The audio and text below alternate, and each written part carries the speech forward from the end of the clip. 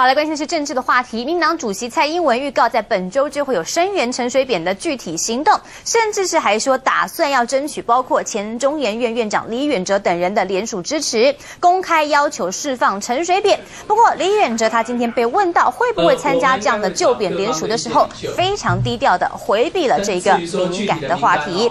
而另外还来看到的是。